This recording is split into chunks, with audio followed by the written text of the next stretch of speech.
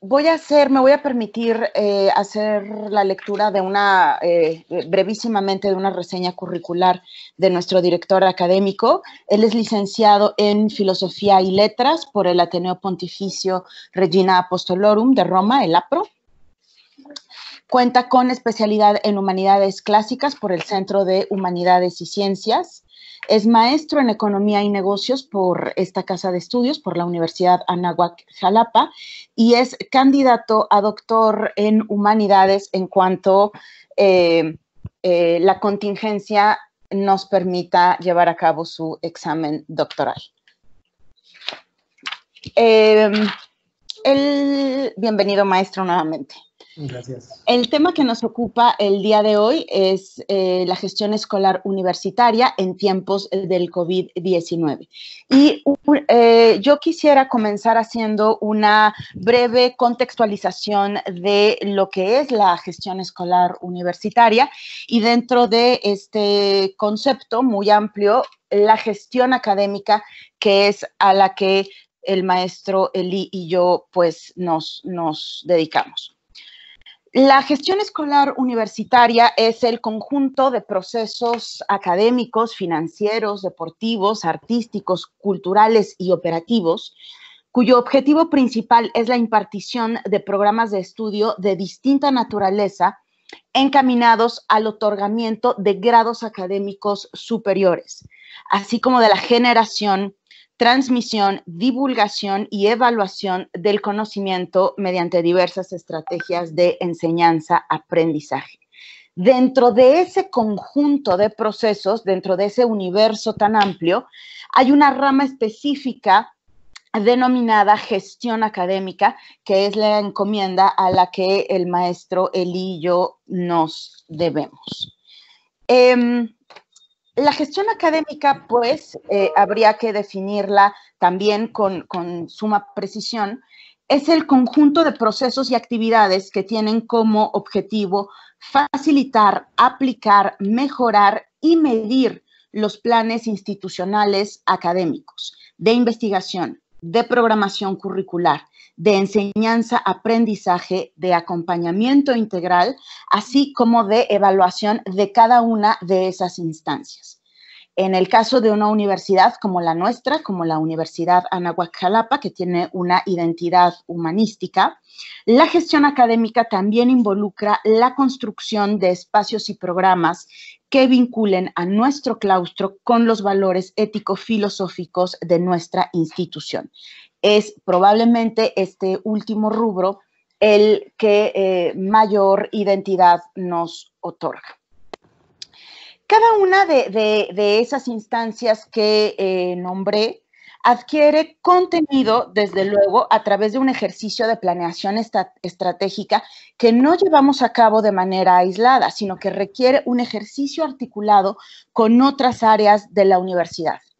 Y en ese sentido, la gestión académica es una división de la gestión escolar, que eso creo que ya ha quedado claro, que interactúa en todo momento con el resto de las áreas de la institución. Y esto, eh, que digamos que puede parecer muy teórico, sí cobró particular relevancia al momento de la contingencia, porque por un lado sí hubo una conciencia real y un apoyo real sobre el protagonismo que el área académica tenía al tener que garantizar la continuidad del semestre. Esa era nuestra responsabilidad primera. Pero por otro lado, también tuvimos que operar en unidad, eh, que como ya lo decía el teórico Carl Dodge, unidad significa muchos en armonía, con áreas como tecnologías de la información, claramente, y por supuesto con dirección de finanzas. Todo ello bajo la dirección de rectoría de los lineamientos dictados por la, Secretaría Ejecutiva de la Red de Universidades Anáhuac, la CERUA, y desde luego atendiendo a eh, lo eh, mandatado por las leyes mexicanas. El reto era y sigue siendo trabajar dentro de ese diseño organizacional, lo cual permite que las acciones implementadas estén todas encaminadas al cumplimiento de nuestros objetivos de calidad académica, pero también de coherencia institucional en los nueve campus de la red de universidades Anáhuac que operan en este momento en el país. Em, la función de, los directivos del área eh, académica es, entre otras cosas, facilitar la labor docente, la labor de investigación, la labor de formación de nuestros coordinadores, profesores e investigadores, así como la de diseñar las rutas y acciones con el objetivo de cumplir la planeación estratégica a la que ya antes me había referido, por un lado. Pero por otro lado, también forma parte de nuestra labor el permanecer en contacto constante y directo con nuestros estudiantes.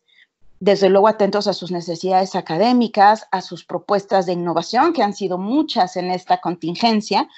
y a sus inquietudes sociales, procurando alimentarlas todas para potenciarlas y apoyarlas. Eh, no sé, maestro Eli, si usted eh, eh, quisiera comentarnos algo sobre esto que, bueno, que acabo de referir. Bien, en relación a lo que acaba de comentar la doctora Ana Brisa, quiero centrarme en un punto que mencionó. Cuando habla del concepto de unidad, es un concepto sumamente clásico, eh, de esa armonía de la armonía de todos, la armonía de muchos. El concepto de belleza, de pulcrum eh, latino clásico, es armonía interpartes, la armonía entre todas las partes.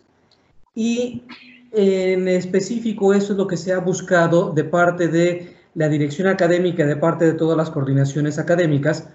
para lograr que siga manteniéndose esa armonía en el íter académico que van llevando los alumnos. Eh, tomamos en cuenta que eh, los jóvenes están aquí durante cuatro o cinco años, durante todo ese íter académico, y cada una de las materias van formando parte de la estructura que van haciendo para completar su currículum. Eh, cuando hay una crisis, cuando hay una contingencia como la que acabamos de tener ahora, corremos un serio peligro en que haya un exabrupto en este íter académico, eh, como de facto yo lo estoy viendo en algunas instituciones eh, en el país eh, que tal vez formalmente terminarán el ciclo académico, pero en la praxis creo que los jóvenes de algunas de esas instituciones quedarán con serias lagunas. Entonces, aquí nosotros la gran problemática que teníamos, el gran reto que teníamos es cómo lograr terminar el semestre sin que nuestros chicos se vieran afectados o que se vieran afectados en un mínimo y logrando, eh, por eso retomo de nuevo el punto que mencionó la doctora Ana Brisa, esa armonía entre las partes. Cómo lograr que se mantenga esa unidad, cómo lograr que se mantenga esa belleza de eh, ese íter académico, de esa estructura curricular de la cual deben salir los alumnos una vez que hayan terminado este semestre o una vez que hayan terminado los cuatro años o cinco años de formación en la universidad. Ese era sobre todo el gran reto que eh, se puso la, eh, la, parte académica, ante lo cual lo primero que eh, vino a la mente fue una formación de los profesores, una formación del claustro académico que tenía que estar conformado desde la parte directiva, la parte operativa y evidentemente los profesores para que en un tiempo récord pudieran migrar todos sus cursos a cursos eh, remotos y tratar de adecuarse de la mejor manera para que, si bien sabemos que eh, este proceso iba a ser mucho más difícil, pero que de la mejor manera los chicos y los profesores pudieran obtener los mismos resultados a los que eh, la Universidad de Anáhuac Jalapa está acostumbrada. Sí, y en, ese sentido creo que eh, pudiendo o, con un afán de poder eh, eh, resumir los retos que se tuvieron que enfrentar efectivamente, digamos de manera muy rápida, voy a puntualizar o, a intentar encapsularlos en cuatro, digamos, grandes rubros. El primero de ellos es, fue la delimitación de funciones podría parecer que desde una óptica de, gestión, eh, esa delimitación de funciones estaba clara. Sin embargo, de cara a la atención que se tuvo que tener frente a la contingencia, hubo que replantearse las funciones que cada una de las partes, no solamente del área académica, sino del resto de las instancias, tuvo que asumir. En segundo lugar, el respeto a los canales institucionales de gestión, eh, sí, digamos, en un primer momento eh, eh, existía esta tendencia a quererlo resolver todo a través de WhatsApp, por ejemplo, pero además de que existían herramientas institucionales, ya existían procesos y esos procesos fueron particularmente relevantes cuando hubo que detonarlos en una circunstancia para la cual pues no habíamos tenido ningún precedente y debo decir que la mayor parte de esos procesos resistieron esa prueba. En tercer lugar, la adaptación a horarios mucho más prolongados de trabajo. Me parece que eh, los compañeros coordinadores que nos acompañan y a quienes agradezco su presencia el día de hoy estarán de acuerdo conmigo que estamos al final haciendo más horas de las que, de las que hacíamos cuando acudíamos de manera presencial a la universidad, pero es una consecuencia y, y no es privativo, digamos, de este ámbito, pero efectivamente hubo que hacer una adaptación a horarios más prolongados de trabajo. Y finalmente, en cuarto lugar, la incorporación del conjunto de elementos no previstos, de elementos novedosos en los, en los objetivos de planeación. Es decir, la identificación de oportunidades de enseñanza-aprendizaje y de gestión escolar. Digamos, eso como retos generales. Y a partir de, esos retos, pues se detonó eh, lo que llamamos una ruta de trabajo que eh, pues quisiera compartir con, ustedes, que eh, muy probablemente aquí faltan, faltan algunas cuestiones, pero que hasta ahora pues nos ha servido pues para poder eh, organizar los trabajos de, la dirección académica. En primer lugar, eh, eh, la generación de un plan de trabajo para la contingencia. Y si bien esos planes de trabajo fueron originalmente diseñados para un tiempo que ya vimos que fue superado y que probablemente va a superar lo que en un segundo momento creíamos que se iba a resolver, eh, sí eh, vimos que era y, seguimos considerando que era fundamental generar un plan de trabajo que contuviese objetivos, metas y entregables calendarizados, tanto para organizar los tiempos eh, del trabajo del, del coordinador y de los distintos profesores, como para que el propio responsable del área pudiera seguir eh, eh, supervisando y evaluando los avances de proyectos que ya estaban en marcha, así como la incorporación de nuevos proyectos derivados de la contingencia. Pero ese plan de trabajo sí ha sido muy importante para el tema de gestión académica. Eh, un segundo punto es garantizar canales de comunicación entre personal académico, eh, personal administrativo y desde luego con el claustro de profesores y alumnos. Y aquí sí debo hacer una mención especial al tema de todo el soporte que el área de tecnologías de la red eh, ha proporcionado para facilitar esta labor de comunicación, que eh, digamos era fundamental para poder seguir impartiendo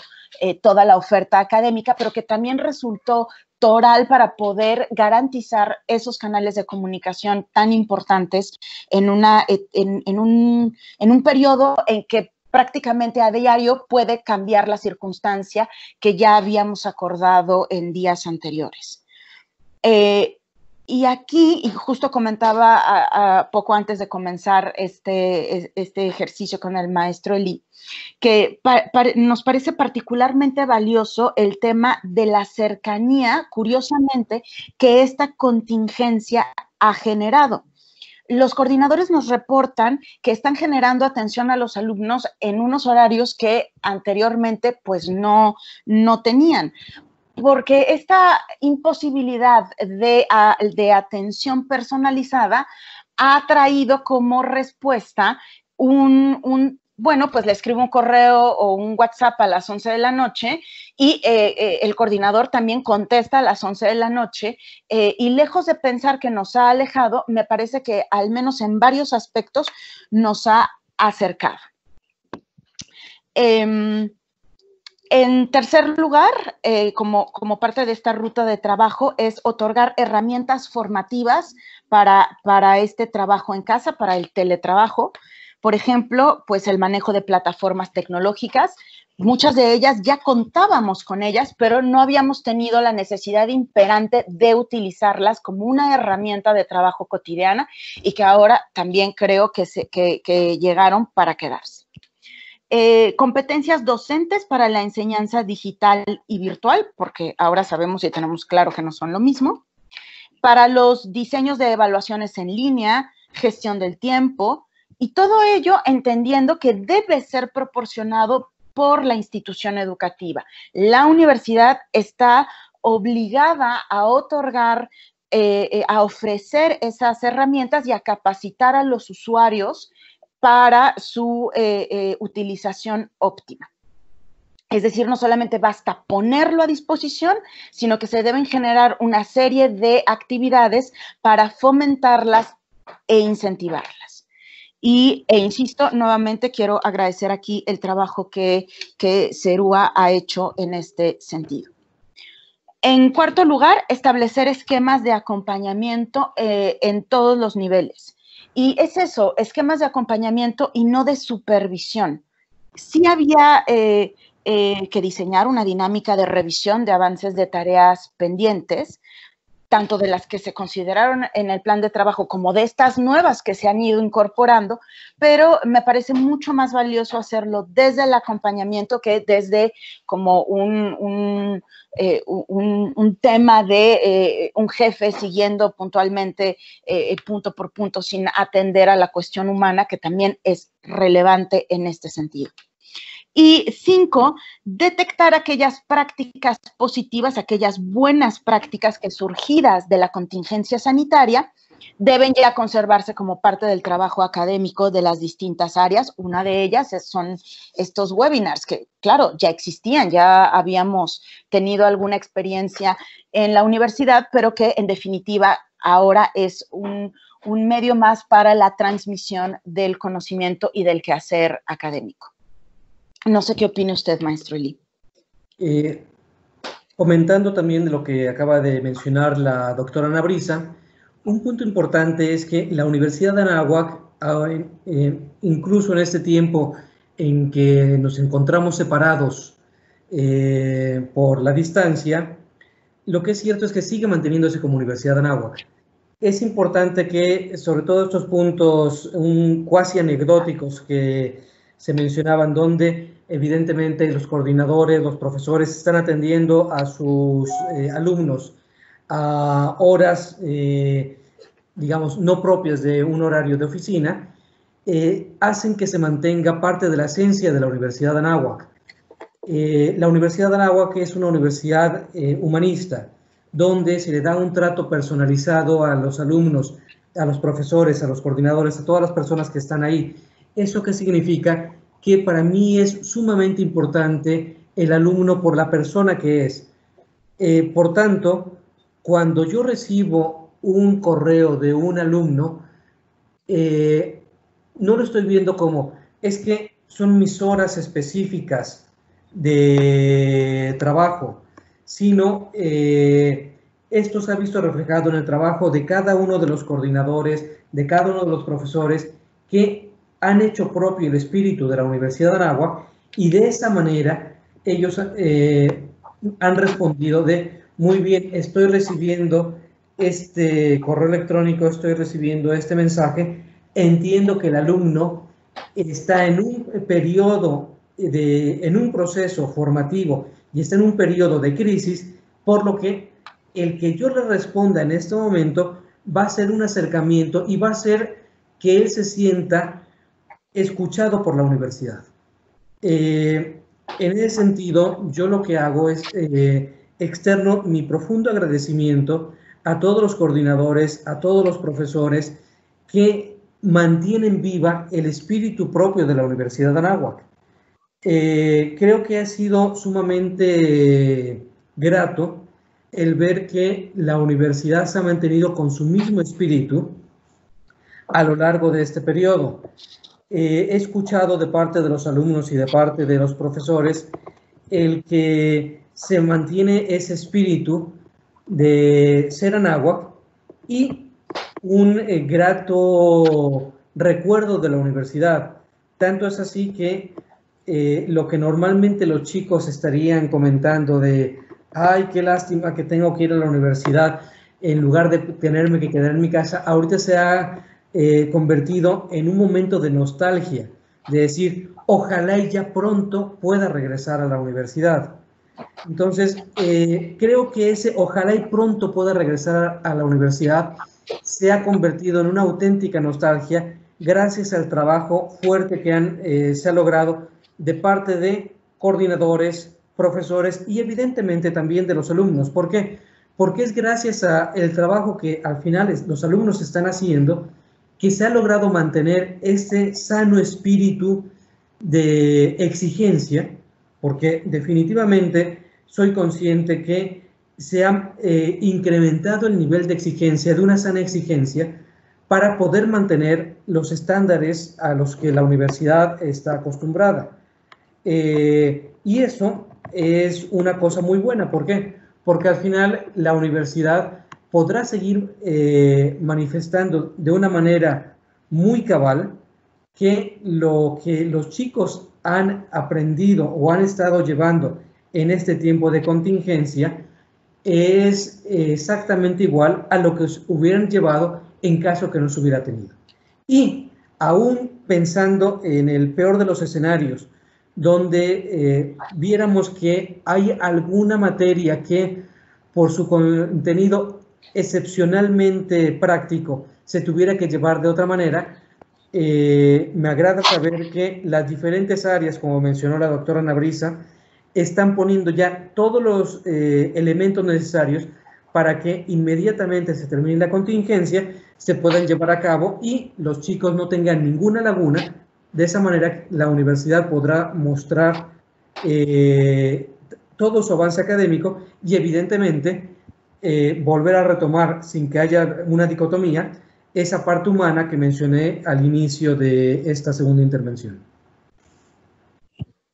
Muy bien. Y bueno, la, pregunta siempre eh, es recurrente en estos tiempos. ¿Qué pasa después? ¿Qué viene después eh, de, la contingencia? ¿Cómo regresar a eh, pues las labores cotidianas? ¿Cómo regresar a los centros de trabajo? Creo que, desde luego, no, no podemos hacer futurología, pero sí creo que existen una serie de factores muy importantes que se pueden incorporar eh, derivado precisamente de la contingencia.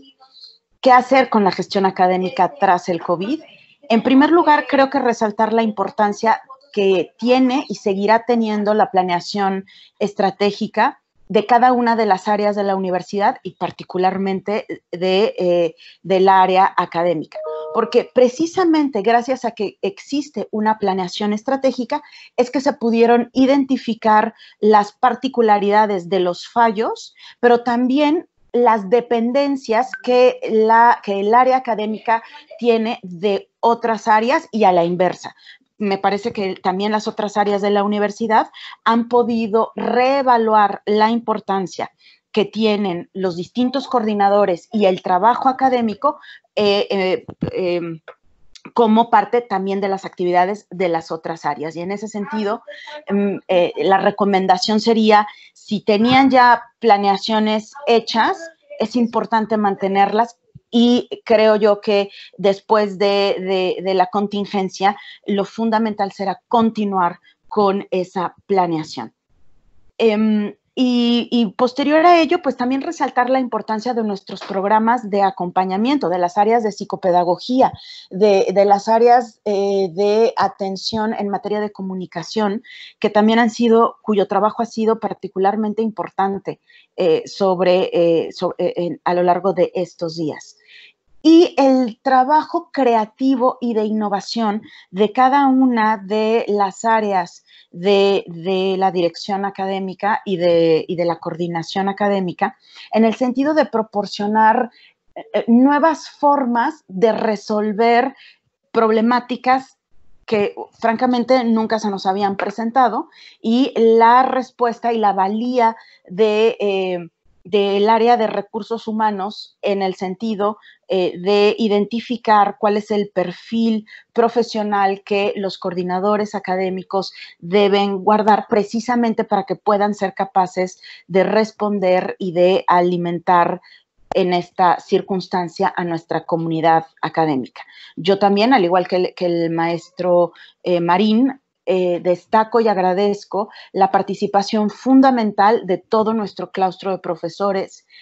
em, desde, desde pregrado hasta posgrado, porque cada uno de ellos ha hecho un esfuerzo que le tocó. Eh, entiendo que no es algo que hayamos elegido y precisamente por eso es que adquiere una mayor relevancia. Todos ellos han puesto y han dedicado una gran cantidad de horas en eh, poder meterse a las plataformas, en migrar sus cursos eh, de, presencial a presencial en soporte digital. Y han hecho una labor titánica, pero que va a tener, y eh, retomando la pregunta de qué hacer después de la contingencia, creo yo que vamos a tener un claustro académico extraordinariamente fortalecido a través de nuevas habilidades eh, y competencias digitales para la docencia la, o sea, la totalidad de nuestro claustro académico eh, está operando sus clases en línea. Incluso los profesores de una edad avanzada que hubiésemos podido pensar que tendríamos eh, problemas, la verdad es que incluso a ellos se les capacitó y con entusiasmo, con entrega, con mucho amor por la docencia,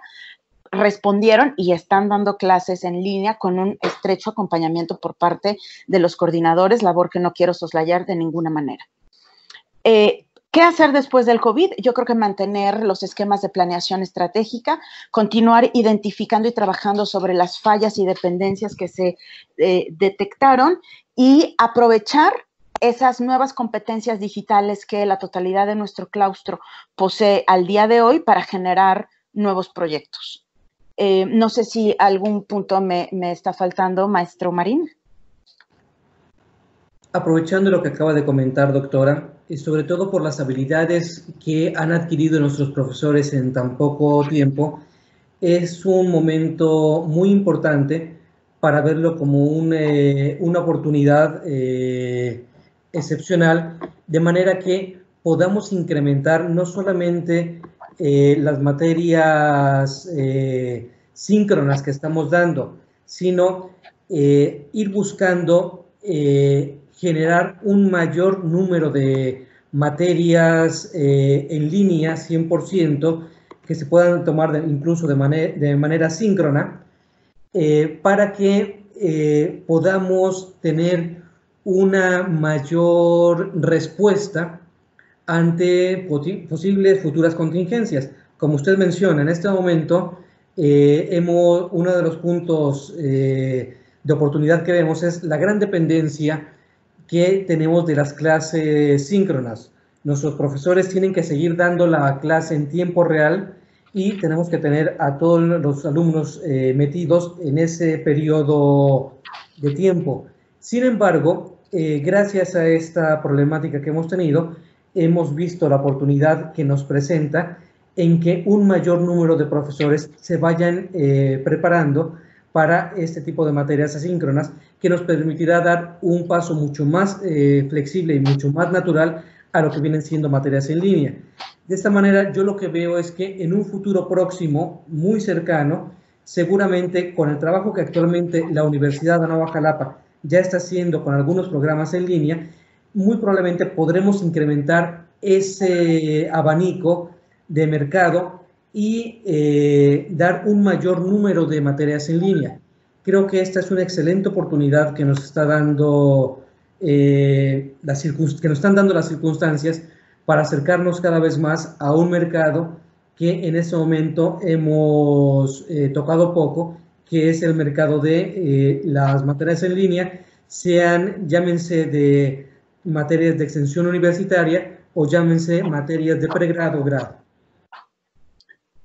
Sí, claro, y en ese sentido también como, como área académica tenemos la oportunidad de generar eh, pues esquemas de evaluación, rúbricas de evaluación para poder discernir entre la entre el mar, entre la mar de oferta que actualmente hay eh, de acceso abierto algunos con contenidos muy valiosos y otros no tanto, pero ciertamente como área académica generar criterios de discernimiento para poder elegir eh, entre la, oferta de cursos que tenemos, además de poder ofrecerlos eh, nosotros, que ya de, eh, Anáhuac en, online tiene ya una, cantidad importante de programas en este sentido. De hecho, tiene un diplomado sobre, sobre gestión escolar.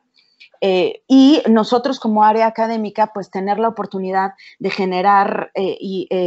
eh, contenidos y de generar rúbricas para poder evaluar esa oferta que, existe ahora en el mercado. Pues no sé, dejo, dejo abierto el micrófono e invito a los asistentes, a los coordinadores, si tienen alguna eh, aportación o si quisieran comentar alguna de sus experiencias a lo largo de estos días de contingencia. Creo que es muy valioso este apunte que acaba de mencionar la doctora Ana sobre todo porque cada uno de ustedes, cada uno de los coordinadores que están presentes aquí, han vivido experiencias únicas que estoy seguro el compartirlas podrán enriquecer mucho a sus compañeros y evidentemente a los que estamos dando la ponencia.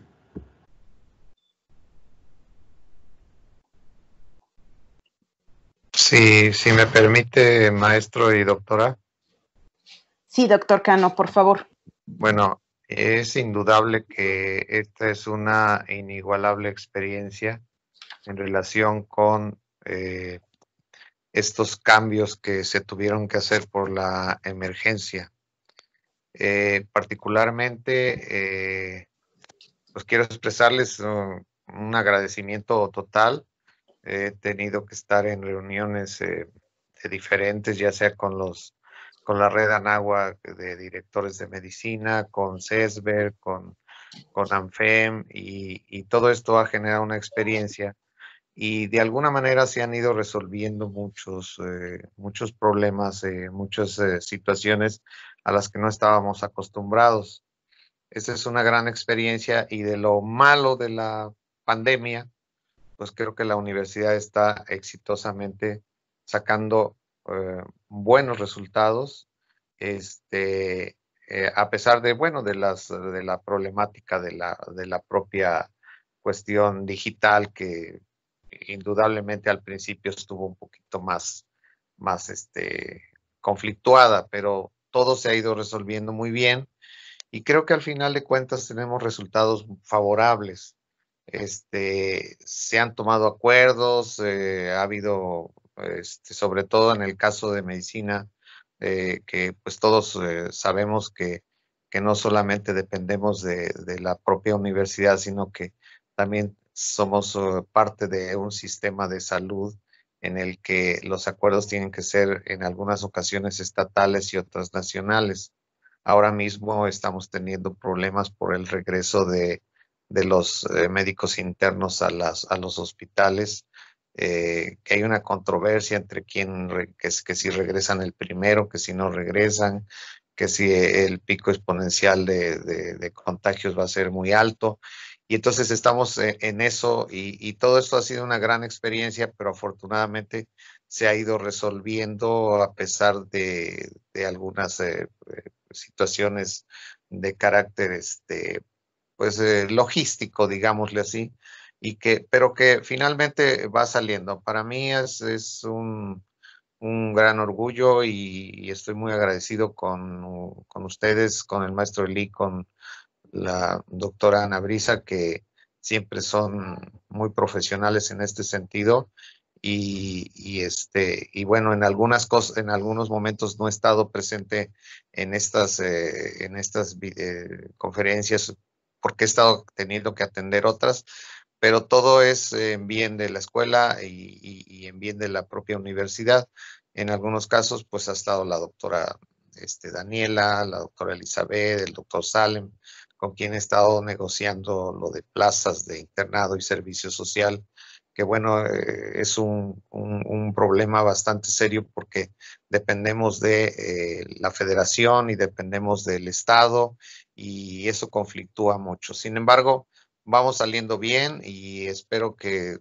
el, próximo lunes me voy a reunir con, con 15 papás eh, teniendo una sana distancia allí en el, estoy pensando en el, en el, este, en el Santo Tomás para poder platicar con ellos en relación con esta situación que de alguna manera es nacional, es conflictiva por los médicos internos, por los riesgos y por los compromisos que tenemos, pero bueno, les informo que estaremos este, dándole seguimiento a todo esto y estaremos eh, apoyando y poniendo todo lo que está de nuestra parte para que las cosas este, salgan lo mejor posible. Igual, doctora, le comunico que el, este calendario para la, eh, la orientación a los aspirantes eh, del día 14 me parece bien. Este, me estoy poniendo de acuerdo con, los demás coordinadores, con, digo, con la doctora Elizabeth, el doctor Salem y la doctora Daniela, para ver si nosotros podemos hacer una entre los cuatro y, mostrar a, la, a, la, a los padres y a los aspirantes que hay, hay este, una, una situación de, de unión, de fuerza, de, de apoyo y que vean que estamos eh, todos comprometidos con la universidad y con la sociedad. Gracias. Muchas gracias, doctor Cano. Es el, director de la Escuela de Medicina de la Universidad de Anahuac, Jalapa, para quienes eh, nos acompañan desde otras latitudes, porque he visto que tenemos invitados de eh, otras universidades. Muchísimas gracias por su intervención, doctor. No sé si algún otro miembro de, la coordinación académica de la, universidad quisiera hacer alguna aportación. Sí, doctora, maestro Eli, ¿me permite? Muy bien, sí, muy buenas tardes, eh, maestra Gutiérrez. Es la coordinadora de la Escuela de Comunicación IDIN. Muchas gracias. Pues la verdad, esta experiencia de la gestión escolar en tiempos del COVID ha sido, yo la definiría en resumen como un viaje. Nos sacó de nuestros lugares de confort, de nuestras cómodas oficinas, nuestras aulas, y nos ha puesto en la necesidad, en algunos, o el, el reto para otros, de tomar lo que la tecnología nos brinda para seguir dando una educación de calidad. Y me parece que el reto eh, como lo afrontó la Universidad de Anahuac-Jalapa, ha sido bien llevado y está resultando un éxito. En términos de las opiniones de los alumnos, están muy contentos tomando esta modalidad virtual. Claro, al, principio hubo algunos que no se sentían tan cómodos por lo mismo, porque salieron también ellos de sus áreas de confort. Sin embargo, a final de cuentas están saliendo muy bien en sus semestres. En algunos de los casos, algunos alumnos que necesitaban mayor atención en algunas materias, el que puedan estar en su casa y sin distracciones les está permitiendo que pongan mayor atención a sus materias y eh, pues están obteniendo buenos resultados. Y pues las cosas después del COVID no van a ser iguales porque pues ya tenemos el acceso a estas plataformas. Seguramente las clases se van a ver enriquecidas eh, con el uso de este tipo de herramientas y pues eh, hay que seguir adelante hasta que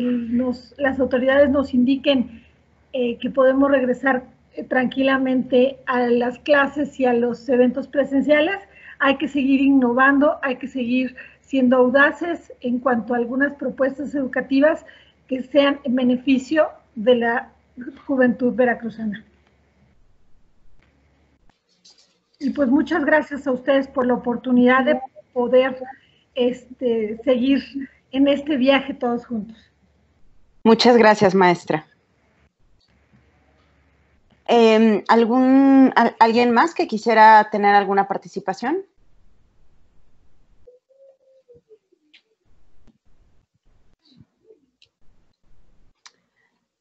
¿No? Muy bien. Pues eh, yo, yo quisiera terminar este ejercicio de reflexión centrándome en dos puntos eh, que eh, tenemos como oportunidad en, la dirección académica. Por un lado, es un reto de gestión.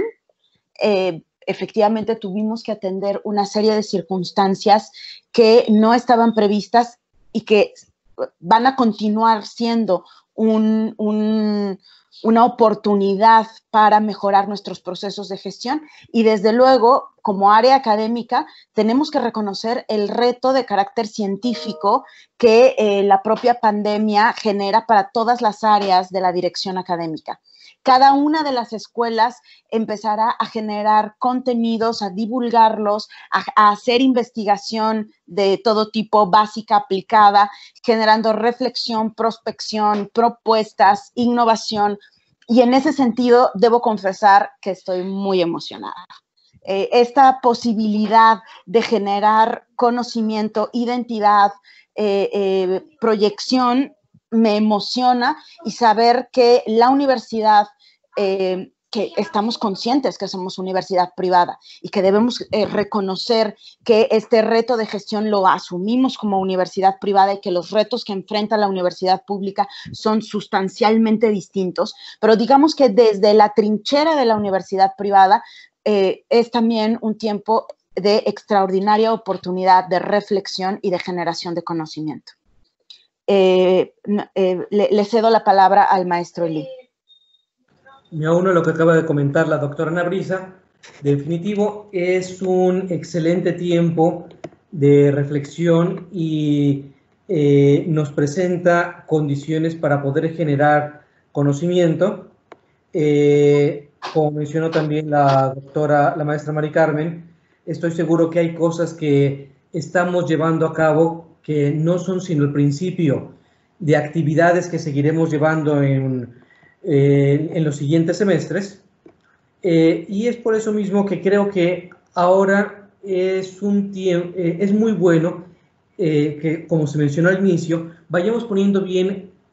cuáles son los cimientos, porque definitivamente lo que viviremos en el semestre agosto-diciembre de 2020 será muy diferente a lo que habíamos, a lo que estábamos acostumbrados.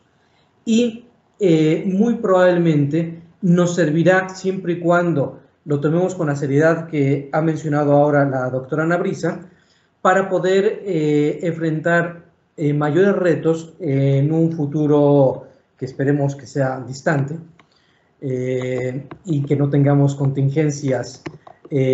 más, en, un, en, futuros cercanos, pero que de todos modos nos servirán para tener un mejor proceso de manera que nuestra gestión, tanto la gestión general de la universidad como la particular que estamos llevando nosotros,